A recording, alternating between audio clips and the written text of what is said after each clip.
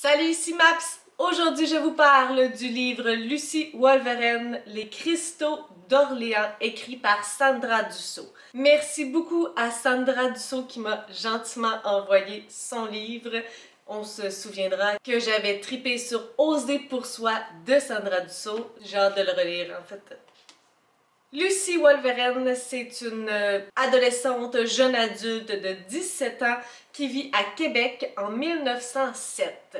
Lucie est originaire de la communauté Cri. Elle a été enlevée par les pensionnats autochtones. Aujourd'hui, elle habite dans la rue et elle survit de ses vols. Elle s'est faite une carapace, elle a besoin de paraître dure et féroce, c'est l'impression qu'elle donne à la quasi-totalité des gens. Elle a très peu d'alliés et ils sont très bien choisis parce qu'il n'est pas question qu'elle se fasse faire mal encore une fois. Dans ce tome-ci, Lucie euh, fait ses vols, euh, continue d'aider les enfants qui se font enlever, qui se font maltraiter, qui sont abusés. Elle a vraiment cette cause-là très à cœur. Mais elle va être informée d'un plan assez prometteur qui pourrait lui rapporter pas mal d'argent. Elle va se mettre à préparer son plan, à préparer ses coéquipiers sans trop leur en dire parce qu'il y a un prince qui devrait venir faire un tour à Québec et qui a un objet très convoité qui vaut très cher. Malgré tout, c'est un plan de longue haleine qui demande beaucoup d'étapes et elle a beaucoup de choses à préparer avant, qui demande de l'aide de ses différents coéquipiers, entre autres de Marie-Joseph et de David. Donc, il y aura beaucoup d'épreuves avant d'arriver à son grand vol. Lucie Wolverine, c'est une histoire euh, jeunesse, young adult. J'avais un peu plus de sentiment que c'était jeunesse par la quantité des actions et la vitesse de celles-ci. D'ailleurs, j'étais quand même assez surprise parce que le titre du premier tome, c'est Les cristaux d'Orléans. Et on n'en entend pas tout de suite parler. On entend parler du prince et des nombreuses possibilités de le voler avant d'entendre parler des cristaux d'Orléans qui vont arriver plus tard. Mais je comprends tout à fait pourquoi le titre c'est ça, parce que c'est une épreuve assez importante pour éventuellement voler le prince. Ce que j'aime énormément de Sandra Dussault, c'est la qualité de ses personnages. Autant dans Oser pour soi, où j'avais été vraiment renversée par Suki et Cédric, à quel point on a déconstruit des préjugés, à quel point on est allé dans des personnages originaux, vrais, mais sans tomber dans ce qu'on lit tout le temps puis dans les stéréotypes. Encore une fois, ici on a Lucie pleine de nuances, un personnage attachant avec une grosse carapace, mais on a accès à toutes ces subtilités et j'ai trouvé que c'est encore une fois un personnage tellement fort que j'ai apprécié suivre de A à Z. Et la même chose pour sa coéquipière Marie-Joseph qu'on rencontre un petit peu tout au long, mais beaucoup plus vers la fin. Et elle aussi, euh, c'est une patenteuse, une fille qui crée des machines, des objets. Elle a une imagination débordante, mais en même temps, c'est très terre à terre parce qu'elle arrive à créer quelque chose pour vrai. J'ai trouvé ça tellement un beau personnage. Ce sont deux personnages féminins tellement forts et attachantes. Il y en a d'autres aussi. Il y a la petite Marguerite qu'on découvre un tout petit peu, mais qui est quand même plus jeune aussi. Là. Euh, puis, le personnage David, il y, en a un autre aussi qui est Casimir, mais je pense qu'on n'a pas encore vu tout le potentiel de ces personnages-là pour l'instant. En lien avec l'histoire, j'étais quand même assez surprise parce que j'ai vu que c'était classé historique fantastique. Historique, forcément, parce que c'est au début du 20e siècle, en 1907. Fantastique pour l'instant, moi j'avais vraiment plus l'impression de quelque chose qui était euh, science-fiction. Ça me faisait vraiment penser à une atmosphère de steampunk, avec les ballons gonflables, avec Marie-Joseph qui est patenteuse. Il y a quelque chose de très matériel euh, qui me faisait penser à du steampunk.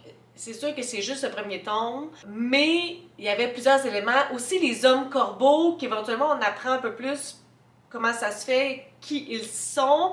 Puis encore une fois, il y avait comme une explication scientifique à ça, plus que fantastique.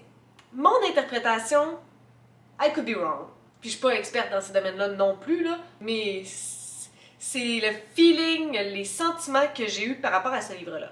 Donc euh, ça commence assez rapidement, on suit Lucie, on la découvre, euh, son quotidien, les personnes avec qui elle interagit. On commence aussi avec un passage assez dur qui nous démontre jusqu'où elle peut aller pour les causes auxquelles elle croit. Puis là, on est dans une dichotomie parce que elle peut aller très loin, mais ses causes sont vraiment nobles.